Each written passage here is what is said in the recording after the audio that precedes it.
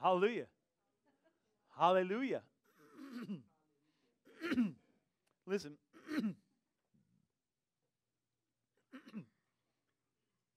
the Moses system of church is dead.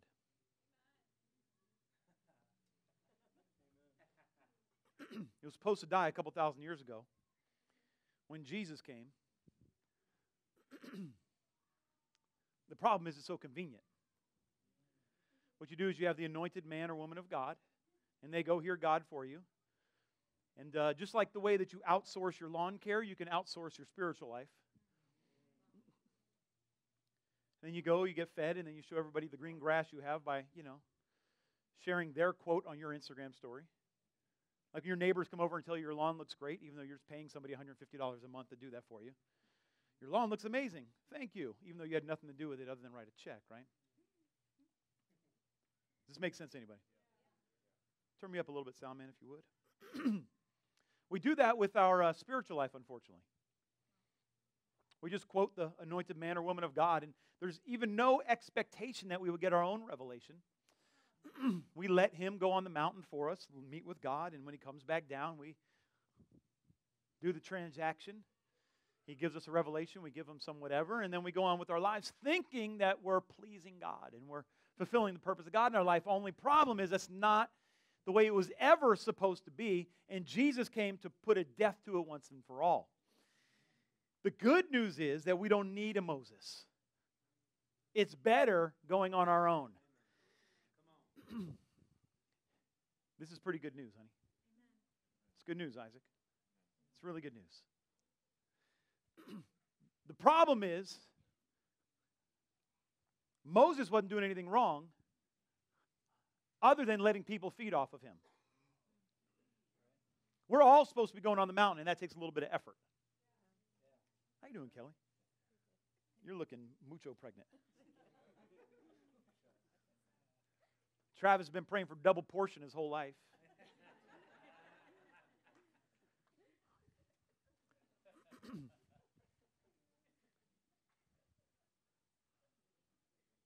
Hallelujah.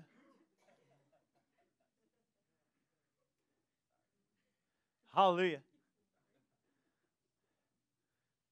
Travis serves the God of more than enough. Who needs one baby, man? Come on. Just get this going right now. I got, I got to make up time.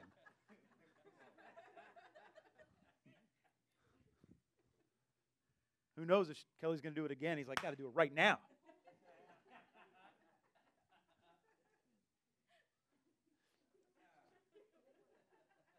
I love them. I can joke with them because we're family. huh. I only have a goal here of you seeing freedom and living in it. That's the goal today. That's really the goal today.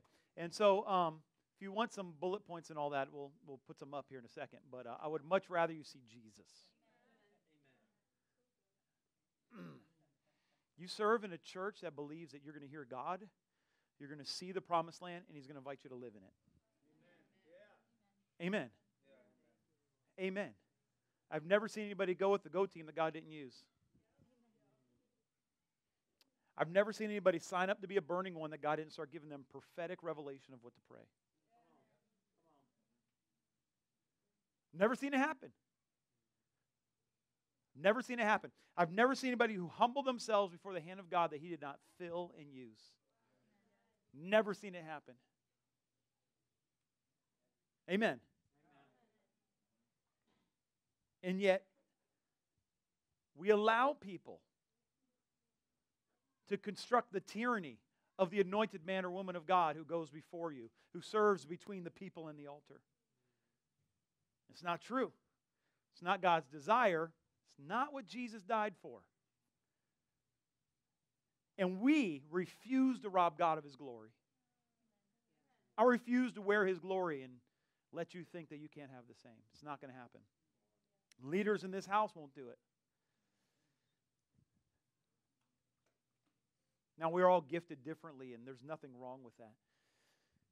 I bring what I have to the table, and First Impressions brings what they have, and hospitality brings what they have to the table, and uh, it's all different parts of the same God. Amen?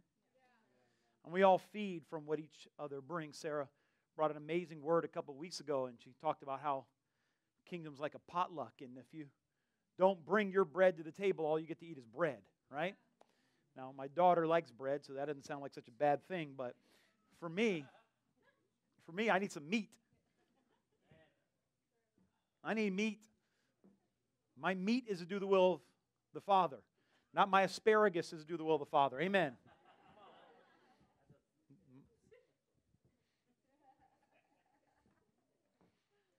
Asparagus don't fill you like a sirloin. The Lord is here to fill you today. Amen. Too many people got a Brussels sprout filling. I need a prime rib with loaded baked potato filling. Amen. I need that feeling that you get like the meat sweats from. Amen. I don't want that feeling that I'll need another meal in 90 minutes. I need a, I need a feeling that like an hour later I'm like, ooh, I ate too much. That was not a good one. Two hours later, whoo, I didn't need that much, but man, I'm still full. I need that feeling like the next morning you're like, I'm not sure I need breakfast. I am still full. Anybody know what I'm talking about? I did not need that last five ounces of steak. I am full. That's the feeling I need from Jesus. Amen? Amen. I don't need a little jar of baby food filling. You got too many baby food fillings in the church today. Doesn't even need to be chewed. Just suck on it and eventually you swallow it, and there it is. It's in your stomach. You don't even know that you ate. That's a prophetic word right there. We're on the same side as anybody who preached the gospel of Jesus Christ. Don't, don't get me wrong. but I want more than the introduction. I don't mind eating a little salad before I get some meat.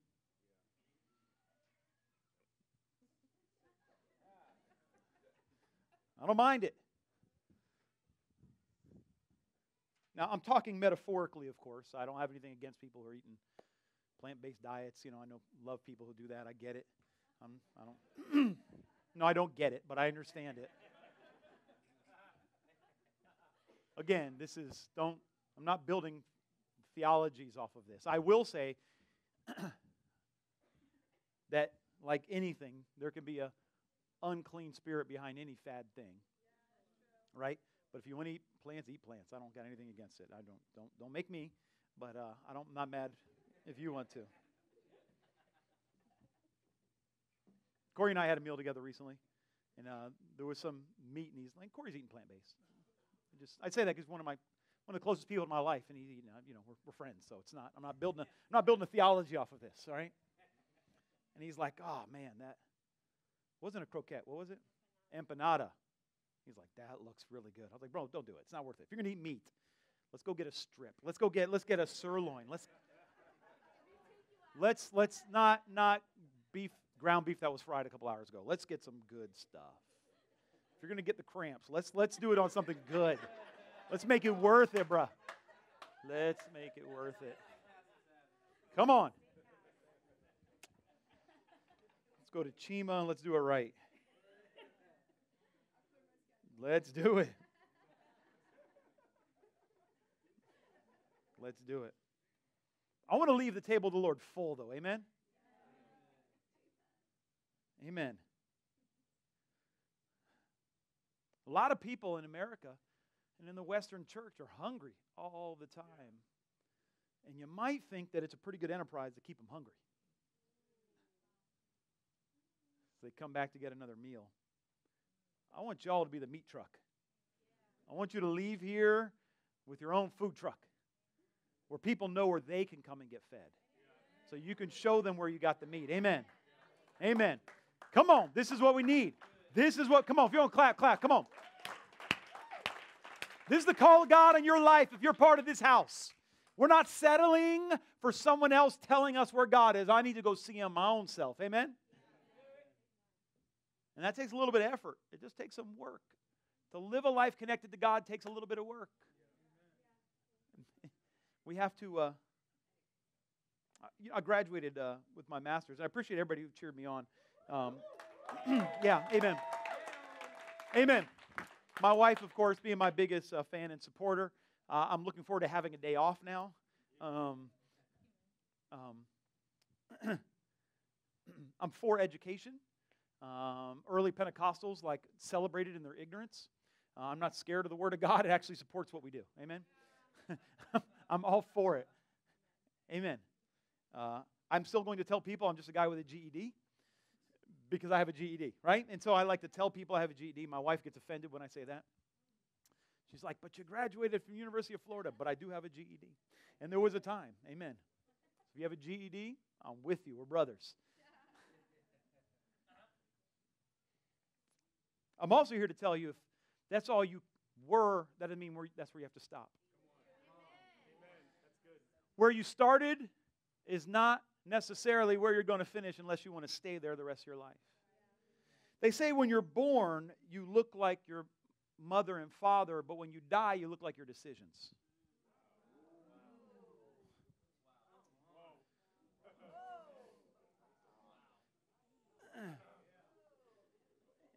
And so I would challenge you today.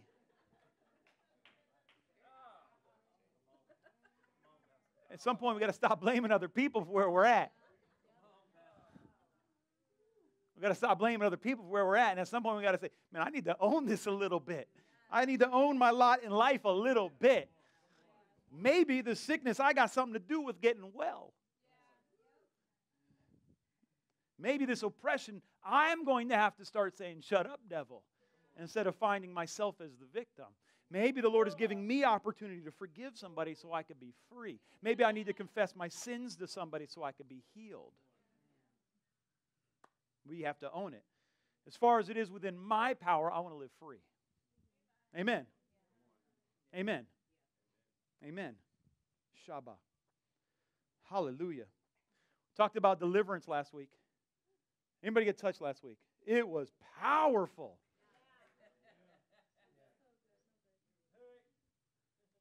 In the words of John Harwood, the Lord came and dropped the hammer on the room, right? Folks like, I'm going to church today. I'm like, oh, I got wrecked. there, look at that. Look at that. I got wrecked. I got wrecked. Did you get touched? The Lord set people free. He set people free. Hallelujah. If you're visiting today, welcome. I don't know what to say. This is uh this is how we do Christmas services. Amen. We, we welcome the one from the manger to come and minister. Amen. That's that's just what we do. That's what we do. Hey, our album's out. Check it out anywhere you listen to music. Amen. Track six is fire. All right, Matthew chapter 10. Anybody here a disciple of Jesus? Jesus has some words for his disciples. Jesus called his 12 disciples and gave them authority over unclean spirits to cast them out, to heal every kind of disease and every kind of sickness. Here's what I like about this scripture. Number one, I'm a disciple, so I like the fact that Jesus had me in mind. Amen. I don't know about you. When I read the Bible, I feel like he wrote it for me. I see myself all over the word. Like he called his disciples. I'm like, yes, Lord. What would you like? I'm going to give you authority. Amen. Over what? Sickness and disease. How many sicknesses? How many diseases? Every kind of sickness. In every kind of disease. Hallelujah. I like that. I like that because Jesus is like the Holy Ghost specialist and he brought his disciples into his practice. And so when someone comes to you and they're like, oh, I got this sickness, I need a specialist, you're like, well, I might be the specialist you need. What kind of sickness, sickness do you have? Well, which one do you have authority over? Oh, I have authority over all. Well, I don't know if Jesus heals this. Hmm, let me check the word. Is that one of every kind? Good news. I've been given authority over that. But does he heal this kind of diseases? Oh, let me check my specialist uh, recommendation here. Mm, every kind I have authority over. So, yes, good news, the doctor is in. Hallelujah. Hallelujah. Hallelujah. Hallelujah. And so some ha feeling good, Corey. Feeling good in here right now. We might get free today. We're talking about what happens when Jesus comes. And we're not talking about the idealized Jesus that we've made Jesus, that Jesus that we've made in our own image, that Jesus that we've made in our political image, that Jesus that we've made in our economic image, that Jesus that we've made in the image of our soulish desires. I'm talking about the Lord Jesus, right? The one born of a virgin, the one who never sinned, the one who was filled with the Spirit and the Spirit rested upon him. We're talking about the Jesus who fulfilled the scriptures, walking in miracles and proclaiming the kingdom of God, the one who never sinned and was murdered, thus having victory over death and sin when he was resurrected from the dead, went up into heaven where he sits at the right hand of the Father, having authority over heaven and earth, who is truth. That Jesus, who will come again one day on the clouds, judging the living and the dead, that Jesus is the one who I serve, and that Jesus is the one and is the only one who actually answers prayers. That's actually the only one that you can serve. That's actually the only God who will deliver and heal from every sickness and every type of disease. See, now when that Jesus comes, things change. When that Jesus comes, things change. You see, we can make a God in our desired image, and things don't necessarily change, and we can get frustrated with the living God because he doesn't look like the God we created. And that can be a place of frustration, amen? That can be, I don't know if you've ever been in a place where you expected God to do something and he didn't do it, and you got mad at the living God because he didn't behave like the God we created.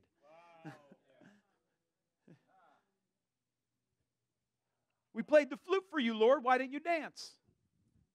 We played the dirge. Why didn't you mourn? He's like, Guess what? You don't pick the song I dance to, I do. And when I pick the music, you behave, not me. Here, here's the God who stands in truth and tells us what truth looks like. He's like, here's truth over here. And we're like, well, actually, God, I'd like it to be over here. And he's like, good luck with that.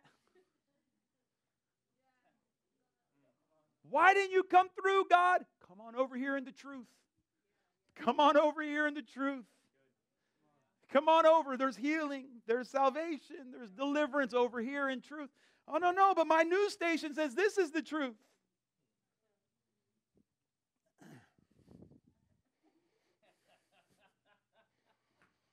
Hallelujah.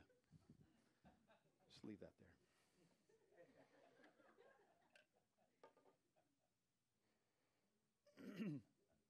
Hallelujah, Corey. You praying for me? Please do. I'm trying to keep it together here. Okay, no, let's, let's, let's, let's break it down. nope, I'm not doing it, Raquel. Raquel says, whenever I put my hands on my knees, I'm about to drop a bomb. So, so I'm not doing it today.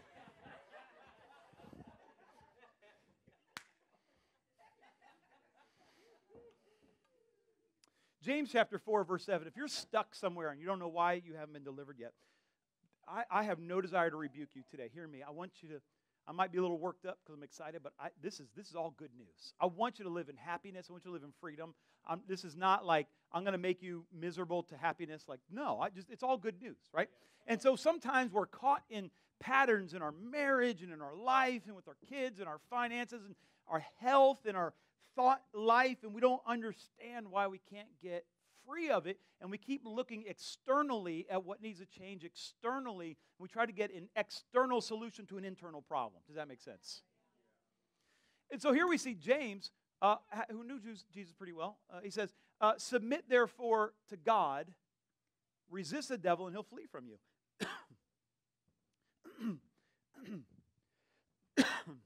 In the church in, in, in, uh, in the west in the late 90s, there was a lot of teaching on deliverance. Anybody remember that? Excuse me. In the late 90s, early 2000s, it was like everything was the devil. It was all demons. There was like these deliverance services and deliverance conferences, and people are puking up their guts and, oh, now I'm going to live free, except they had to keep coming to him every year. I'm like, well, if you're not free every year, maybe this isn't working. I don't know. uh, and there was a lot of books on it, and there was a lot of people trying to take victory over the devil in your life for you. And they were wondering why it didn't work. Oh, I read this book about the battlefield. And I read this book about this, and I'm still because Joyce Meyer can't get you free, right? Like, like you, we have to partner with Jesus to get us free. But there was this time where everything was a demon and everything was a devil and everything was as if we were blameless in this whole battle and it was all the devil. And then the church kind of swung in the opposite direction and all the teaching now is about he's a good God and he's a good father and he's a loving daddy and nothing bad will ever come to you because if he's a good God, why would there ever be any troubles and why would there be anything unclean and just got to just thank your way into freedom, and that's good. And I believe about the goodness of God. The problem is the Bible says we're going to have some problems. And we're going to have to learn how to overcome them. And if we weren't to be called overcomers, then what are we here for? We're not just a, a, a, a bookmark in time. We're actually here to establish the kingdom of God on earth and displace the works of the devil and take this area for Jesus Christ and displace the enemy. That's actually our call. And if we're just supposed to lay around and think about how good God is, then what is the point? No. I believe it's somewhere in between. I believe we are to meditate on the goodness of God. And I believe we are to remember that He is not sending us sickness, disease, but there is sickness and disease to overcome. There actually are battles that we're supposed to win. There actually is an enemy that we are to rebuke. The word says, submit to God, therefore. And the theology of today, unfortunately, doesn't talk a lot about submission. A couple of people abuse this word so much that the church got offended by it and scared of it and runs from it now because the enemy won. No, there is submission. There's submission in the body of Christ. There's submission to God. Submission means that there's somebody else calling the shots, and I may disagree with them from time to time. It's possible that you want to go to school somewhere, and God's like, yeah, that's a great plan, but no. It's possible that you want to work somewhere or you want to do something for God and all your friends are doing it and they're all running in that direction and it looks good and it looks amazing, but good doesn't mean it's God. And you're like, well, why can't I go do that? Because he says, because I said no. I said you can't. But why? I already answered that question when I said no. That's why it's called submission. I work for you, you don't work for me. I follow the created, eternal God, not He is here to help me. Again, like we said last week, the Holy Spirit is the helper, not your assistant.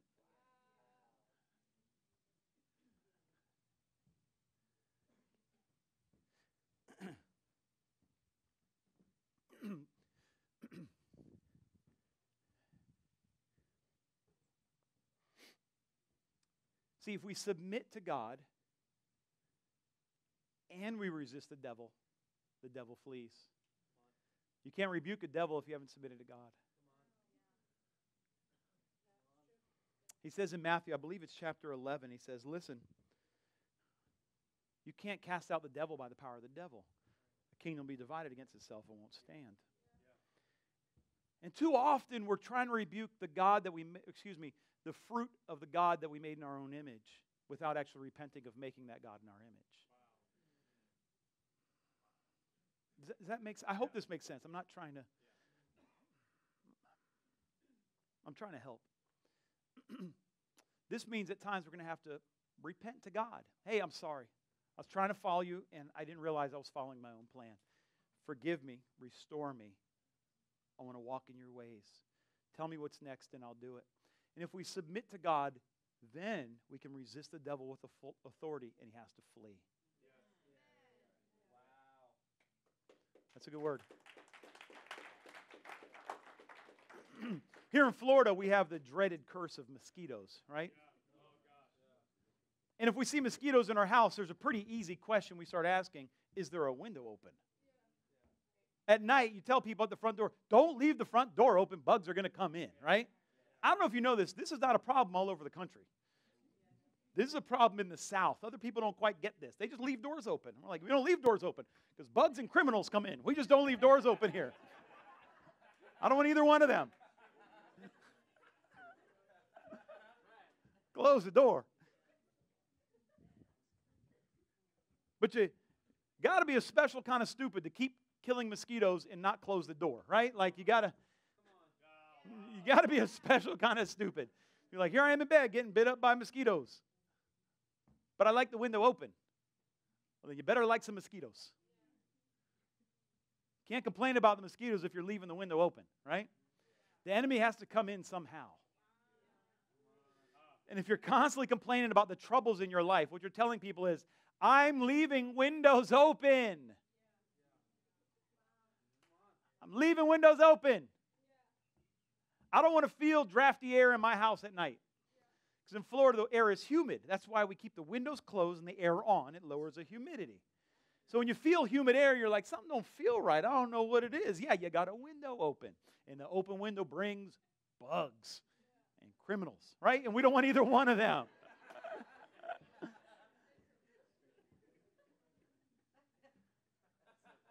right? That's why we don't let our kids open the door. So we got special locks on the front door so the little ones can't open them because it lets the good stuff out and the bad stuff in. Like small children. We don't want them going out, we want them staying in. When we leave the door and window open, the good stuff leaves, like the blessings. The blessings run out the window. And the criminal comes in, stealing from us. You can yell at them all day long, but if you, they know where the open windows are, amen? We want to shut some windows and doors. I don't know, Mike. This is not what I preached. This isn't even what I wrote. I hope you're getting something out of it. Yeah. Amen. Here's what I want to focus on. When Jesus comes, the enemy flees. That's what we want to talk about. What happens when Jesus shows up? The real, living, resurrected yes. Jesus. What happens when he shows up? What happens when he shows up? Man, he starts touching stuff, right? You know, you take a kid into a place with expensive stuff, and you just want to tell them, don't touch anything. Stop touching things. Anybody had to say that to their kid? Just stop touching things. you can touch nothing.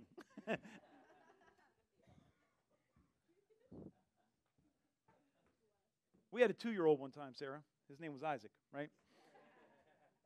We got invited over a family friend's uh, Christmas gathering we have one of those family friends that like didn't have small kids anymore, and they thought it'd be great to have my kids come over. And she became like an art collector, crystal art collector. So she got massive glass tables with massive crystal things on it, and my two-year-old son, who acts like a two-year-old boy, he's coming over, and he's like, it's a jungle gym to him. He's ready to start climbing this stuff. And we're out on the porch. We'll just spend Christmas out here. This is a great. Thanks for inviting us over. This is amazing. Such a good time. Why don't you come in? Because we can't afford anything in your living room. That, that's we, we, we, we, nah, we'll just be here on the porch. Thank you very much. You got any ham you can bring out here? Because I'm expecting to get full here, and now I'm just aggravated. I'm just angry at this point. So what are you to do? You're to run around and tell your kid the whole day, don't touch anything? Don't touch anything. Don't touch anything. Don't touch it. You know, you ever, ever had to do that, Sarah? That gets have you, you ever had to do that? Just don't touch the things. Have you ever been there? Don't touch the things. Which things? Any of them. Don't touch the things. That don't make any sense, right? Don't touch the thing. Because when, when they come in, that's in their nature to touch the things. That's the enemy. He comes in, he touches the things, right? But when God comes in, he feels like he's God. He's going to touch the things. And we can't just set up doors and say, don't go in that room, God, but come on in this room because we're in all those rooms. And the doors we don't let Jesus, the enemy is touching. If we don't let Jesus come in and touch them, then the enemy is touching them. And we don't want the enemy touching the things. We only want God touching the things. Amen. And this is what Jesus does, though. He comes in, acts like God. Where am I at here? Oh, goodness gracious. Here's the promise of God. You ready? Yeah. James 4 8. Draw near to God, and he'll draw near to you. Cleanse your hands, you sinners. Purify your hearts, you double minded. it's really important to understand this is in the New Testament. This is James writing to saved people. This isn't some old covenant thing. This isn't something where people don't understand salvation. This is James writing to believers. This is James writing to the church in Boca Raton. This is James talking to the church of 2019, 2020. We've so fallen in love with, oh, I'm a child of God. I'm, I'm a child of God. Yes, I am. No, you're afflicted. What you need is cleanse your hands, you sinners.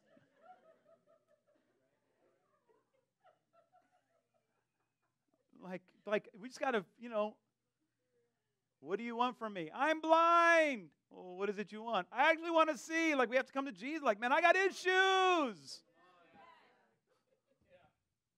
Can't stop smoking weed. I don't know what to do. Stop hanging out with people who smoke weed.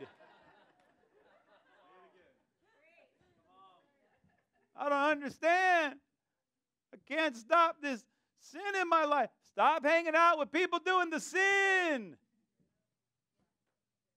Can't stop gambling. Stop going to the track. It's not that complicated. There's nobody gambling here. It's not complicated. This is not complicated. Can't stop looking at porn. Throw away your phone. Not complicated. It's not complicated. Get you a flip phone and be done with it. It's not complicated. But I want to be able to sin. Boom, there's your problem.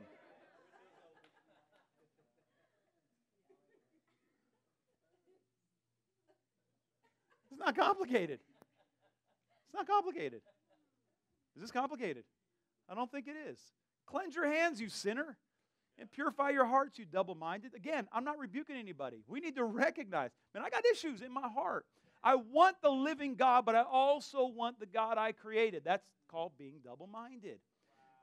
I want everything I want and everything God wants. And he's like, that's two minds. We're double minded. We have two desires. And, he, and the solution for that is to cleanse our hands, us sinners, and to purify our hearts. You can't get counseled out of that. You got to get, you just got to get purified. There's no shortcuts here. There's no magic that we've stumbled upon in the last hundred years of Christianity.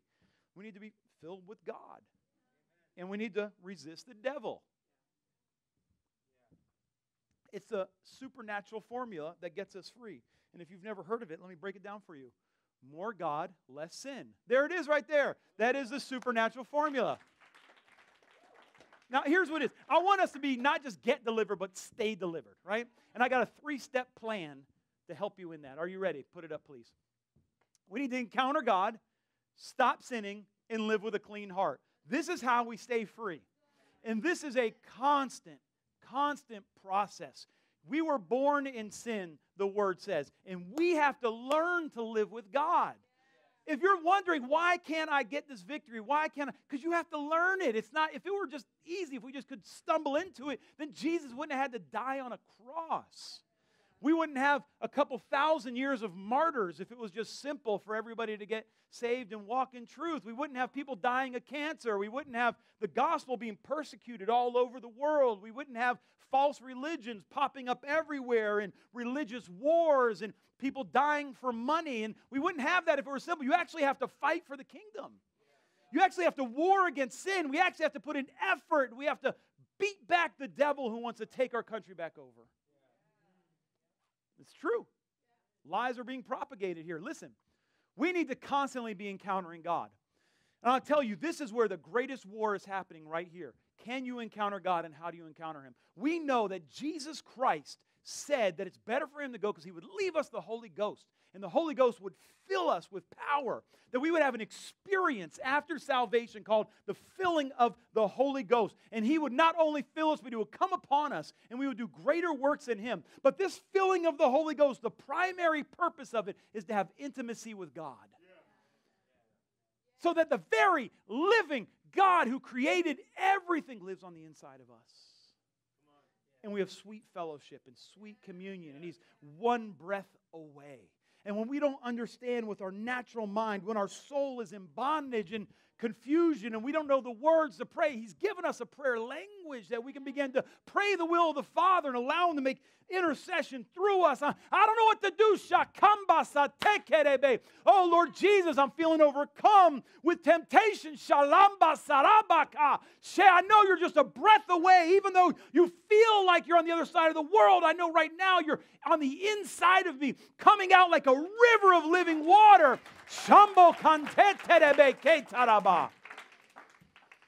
There's a war over that right now. And I tell you what, we're not losing that war because the arc of history is for the filling of the Holy Ghost. Hundreds of millions of believers have received the baptism of the Holy Ghost on the earth. And it's only increasing in our generation. Amen? There's a war against this truth right here. Why? Because once you encounter God and you believe that we can encounter God, then all of a sudden the enemy gets a little bit weaker. All of a sudden we don't have a big devil and a little God anymore. All of a sudden there's a real living God on the inside of us who's empowering me for overcoming. And so through this encounter, through this knowing and loving, I mean, if you're asking me, hey, Pastor, how do I get my how do I get my marriage back on track? How do I strengthen my marriage? We're going to give the same advice. Start dating again. Start dating your spouse again. Start winning them over. Start going on dates. Start getting intimate. Spend times of intimacy. Grow in intimacy, right? That's, that's, that's, that's what we say. How do I don't know what to do with God? What do I, what do, I do? And people say, well, discipline. Although you can't discipline your way to a better marriage. Now, you discipline yourself from doing things that are destroying your marriage. Hear me. You can discipline yourself not to do things that destroy your marriage. We can't discipline your way into a better marriage. That's only through intimacy. That's through intimacy. And so, yes, discipline yourself to stop doing things that are destroying your relationship with God, but you need intimacy to live closer to God. And the more intimate you are, the easier it is to say no. I don't cheat on my wife because I love my wife, not because I have this mastery of discipline.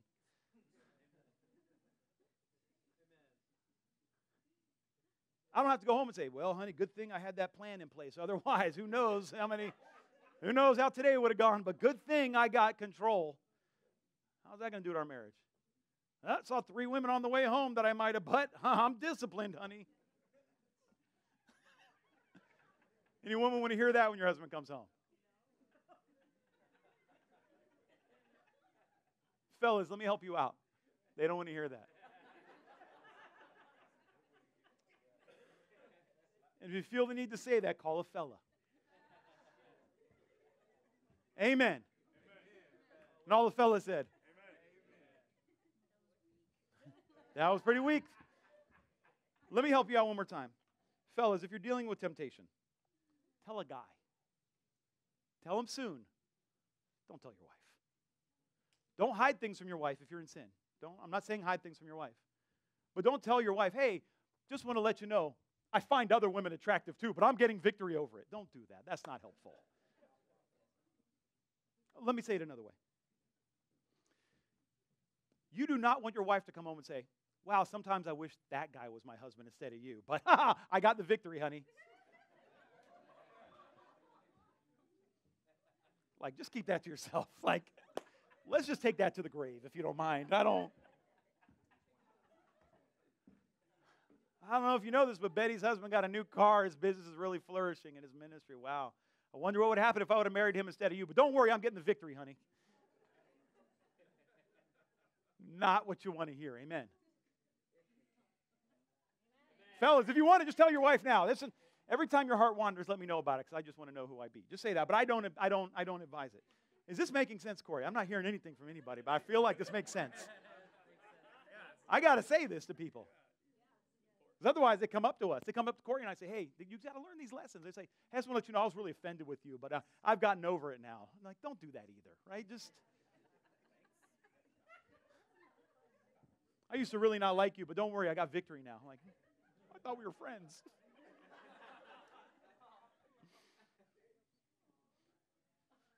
Get in leadership, you'll get that. it's a little blessing that God saves for leaders.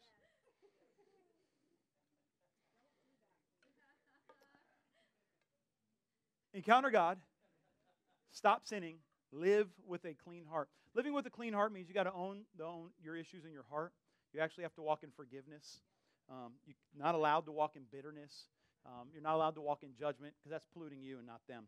I have a whole bunch of other stuff I wanted to talk about, but I don't think you're going to get it. Let me just say this. I wanted to talk about physical healing today, um, but y'all distracted me with the talk of meat. I feel like I need to go to a Brazilian steakhouse this week now.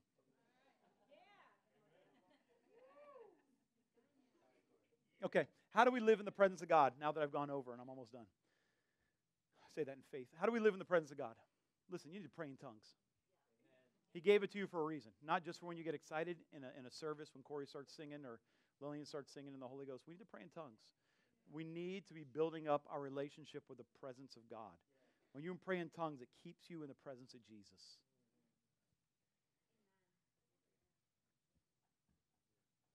You pray in tongues more, you're going to start experiencing Jesus more. And when Jesus comes, he heals, he delivers, and he saves. Who's going to play music for me? Any idea, Corey? Is that Kellyanne? Come on up, Kellyanne. Play some music for me here. All three y'all. Oh, Mike is here. She could do a three part harmony.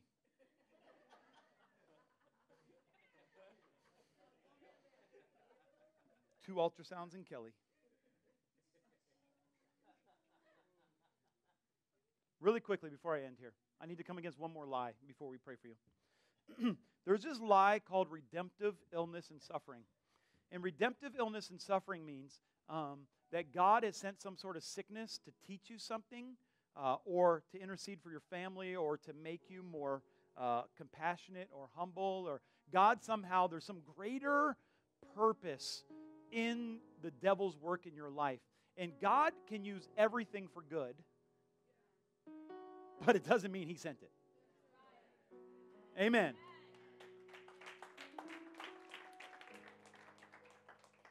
You're not going to find a place in the New Testament where Jesus gives sickness away. He didn't have any sickness to give. You hear me?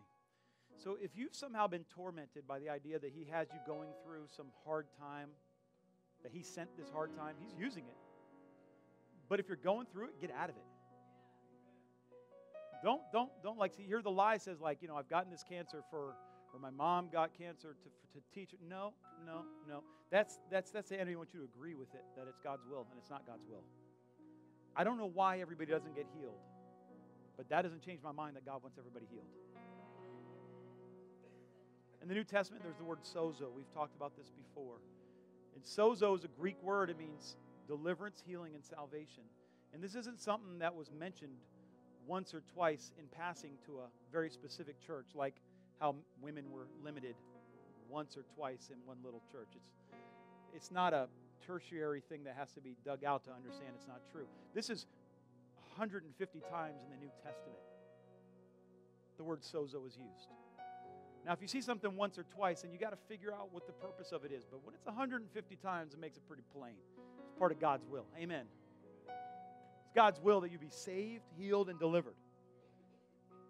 Now, the way, like, the way that we have absolute faith that whosoever calls upon the name of the Lord shall be saved. We believe that, right? We absolutely believe that, right? 150, 200 years ago, the church didn't have that same faith.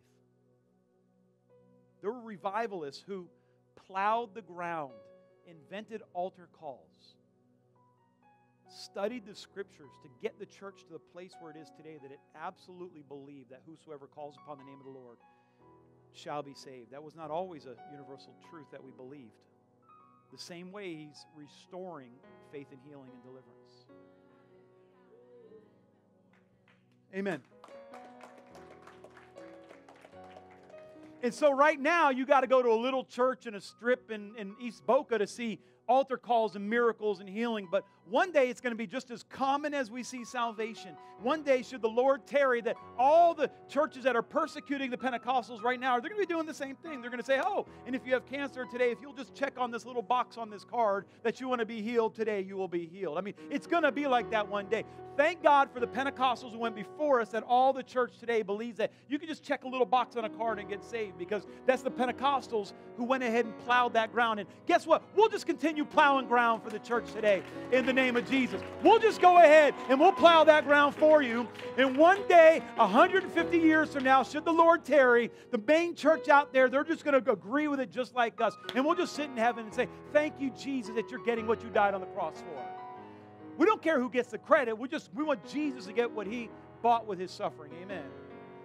But we're not going to stop believing it just because other people haven't caught revelation yet. Amen. Let me skip ahead. Luke chapter 5, verse 17. Back there, if you skip ahead, you'll find that. See, what we believe about healing is important because it's what we believe about God. Look at this. One day, Jesus was teaching, and there were some Pharisees and teachers of the law sitting there who had come from every village of Galilee and Judea and from Jerusalem. Watch this. And the power of the Lord was present for Jesus to perform healing. See, it was the Holy Ghost of God that was upon Christ that empowered him to heal. It was the anointing that he received at that baptism when the Father spoke over him and the Spirit descended upon him like a dove. And I'm here to tell you today that the Holy Ghost is here to heal. Amen. Stand with me if you would. Last week we had a powerful, powerful, powerful time of deliverance. And I always wanted to talk about healing today, but the Lord said, no, no, no, no, no, no, no, no, no. This lie of affliction is too deep for you to do a one and done. We need them to know that the devil is at work and they have power over the enemy. And today, in the name of Jesus, I believe there's people going to be healed, set free, delivered. And if you're away from God today, saved. Pray with me if you would. Father, in the name of Jesus, we welcome you, Lord. We repent of every belief, of every value that we've held on to that denies that you are Lord of all, that you're Lord over sickness, and you're Lord over our lives. Shakaba. Wow, I feel the Holy Ghost of God in here. Ha. And today, Lord, we account ourselves among those in Matthew 10:1 that you summoned and you gave authority over unclean spirits to heal every kind of disease and every kind of sickness. And right now, in the name of Jesus, we command every spirit of infirmity to flee from this house in the name of Jesus. Wow, the Lord is anointing some people right now for healing. Right now, I feel it.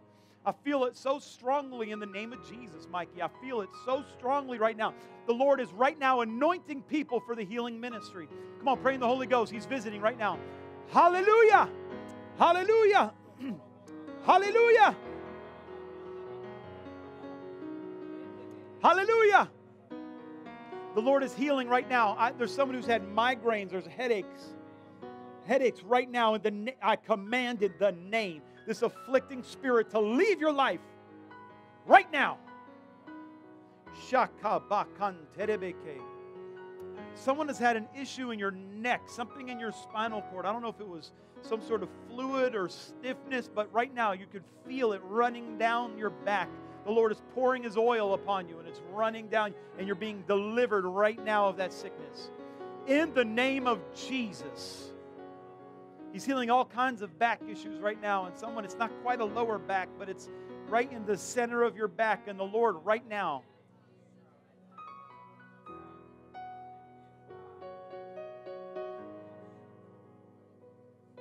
He's washing clean someone who dabbled in, uh, in the occult, in, uh, I don't know if it was tarot card reading or horoscopes. I just see some occult. Repent right now. He's setting free right now. He's setting free right now from voodoo. Brujeria is broken by the blood of Jesus. By the blood of Jesus. I don't know if it was your aunt. I don't know who it was who, who spoke a curse over you that you thought was a blessing, but I break it right now. And just repent of it right now. Just break it. We break it right now. In the name of the Lord Jesus Christ and it's going to fly back like a boomerang of blessing on her in the name of Jesus. And she will encounter the living God, the one she's actually seeking, in the name of Jesus. In the name of Jesus. Half of praying tongues. In the name of Jesus.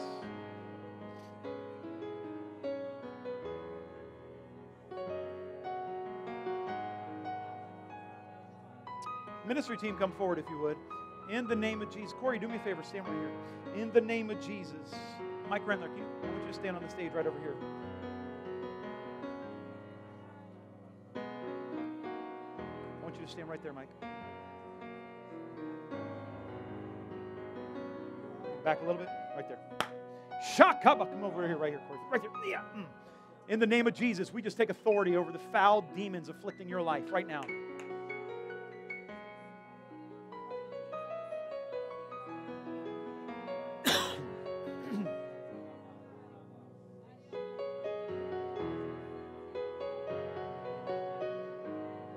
Foul, wicked spirit of infirmity, out in the name of Jesus.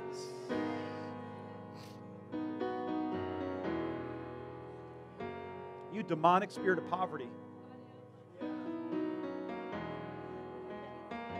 Rebuke it, Corey. You demon of poverty. You spirit of injustice. The Lord Jesus Christ rebukes you. Receive your deliverance right now. Receive your deliverance right now. Receive your deliverance right now. Now, listen, we're going to pray for the sick here in one second, but I feel like I'm supposed to pray for some people to receive the ministry of healing. And you may already have the gift, I don't know, but I, am going to pray. Um, I'm just trying to follow the Holy Ghost here. And um, you may already have it, you may want it and not have it yet, but this is not for your desire. The Lord is going to anoint a couple people right now. Might be one, might be three. I'm not sure exactly. But I'm going to pray, and somebody's right hand is going to start burning. And when it does, I need you to come forward. Don't, don't, don't drum this up. Don't do me a favor. This is for me. Thank you. Don't drum this up, right? I want you to follow the Lord right now. Just because you want a gift doesn't mean God wants to give it to you right now. And He may have already given it to you. Don't deny that He's given it to you by coming up and saying you want it. If you already have it. Does that make sense? So we're going to pray, and if your right hand starts burning, I want you to come. Oh, here we go right now. In the name of Jesus, Holy Spirit, pray in the Holy Ghost. That might be you. Whoa! And then, mm. but listen, I don't want anybody coming forward yet because if you get this gift, you have to pray for sick wherever you go. It's going to be part of the call of God on your life. You have to. You won't have a choice. He'll be expecting you to want to give it away. People may start calling you when they find out. And you may want to spend time with your family, but you don't have that option any longer because you gave your hand to Jesus. I see him putting someone's hand in the fire right now. Now, if your life is bound in sin, you know, repent. No, you don't, you don't want this right now. But the fire of God is falling on people right now in the name. Mm, there it is right there. It was on your hand now. It's just washing down your back. I feel it right now. If that's you, I want you to come forward. I'll lay hands on you. But I want you to recognize that you're giving your hand to God. In the name of Jesus.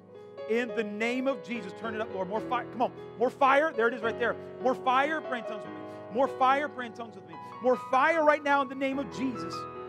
In the name of Jesus. More, Lord. More, Lord. Don't resist the Lord. Come forward if that's you.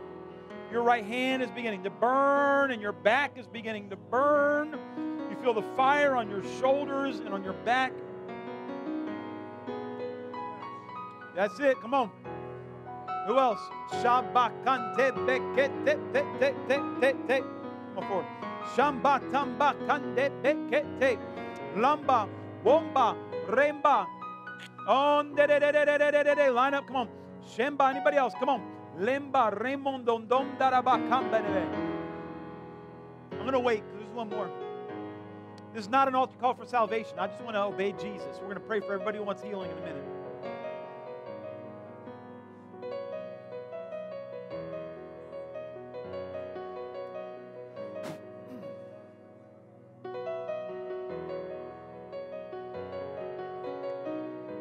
Right hand out, Josh.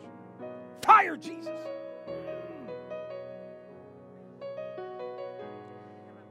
Mm. Oh, yeah, yeah, yeah, yeah, yeah, yeah, yeah, yeah, yeah, yeah, yeah. Wow. Shamba, kamba, kamba, lamba, rimba, bamba, dumba. Listen, if you need healing in your body, we want to pray for you now. If you want to come forward, let me. Mm. Okay. Okay. Okay, I'm sorry. I, I, just give me one minute, if you would, please. Just forgive me. One minute.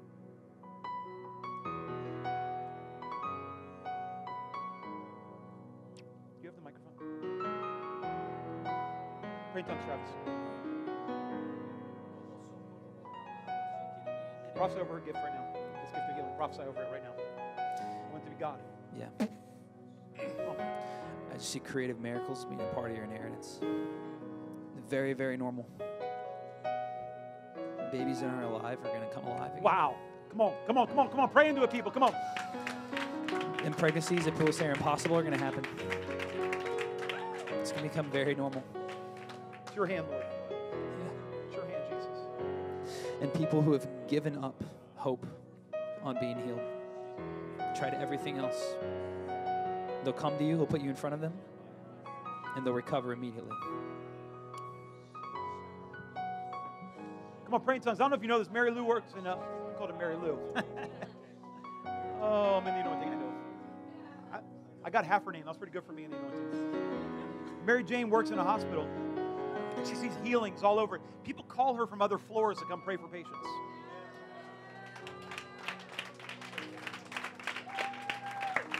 But she wasn't always like that, and she's paid the price of ridicule to walk in that. And so we say today, this hand is yours, Lord. This hand is yours, Lord. This hand is yours, Lord. You ready? Ready? Here it comes. Here it comes. Here it comes. Take it. Fire of God right there. Fire of God. You come down and lay hands on Josh. Amen. If you need healing, I want you to come forward now. Corey, go ahead and bless the people. Thank you so much. Hallelujah. Can we give the Lord a shout this morning? Just, Check thank one. Him for what He's doing. Check one. Check one. Hallelujah. Thank you guys so much for joining us today. In the name of What God is doing in our house and in our lives, in your life, is a big deal. Is a big deal. And uh, I just, um, I'm getting so excited about God, what God wants to do in our city. I'm getting so excited about what God wants to do in our city. And uh, I know, I know that I know that I know that that people don't need just another religious event. They need to be connected to the presence and power of Jesus. They need something real. They need some, the, the world is hungry for real. They're hungry for authentic. They're hungry for what's genuine. So this, this coming Sunday is our Christmas service. I want people to experience the real Jesus this Christmas, amen? So as you go out, grab some invitation cards. Let's, let's fill this room Christmas. It's easy to get people here. Let's invite them. Let's invite them to church because I believe that when Jesus comes, he saves, he heals, he delivers. He does the impossible, amen? Can we, can we do that, church? Are we gonna are we gonna invite people this, this year? Come on, let's let's fill this room because Boca Raton, our friends and family, need the presence of Jesus. They need the presence of Jesus. Look, I got saved in a Presbyterian church, and it was awesome. It, wa- it was awesome. They preached the gospel, and it was awesome. But but God had so much more for me than than just reciting a prayer. Just reciting a prayer when I was a young boy, and He has so much more. He has so much more. Amen. I want the more. How about you? Come on, I want the more. How about you? I'm not knocking what anybody else does. I'm just saying this is who we are supposed to be. This is who we are called to be. Let's be that. Amen. Let's give it up for Jesus one more time. God bless you guys. Have an amazing Sunday. We'll see you next week for our Christmas service.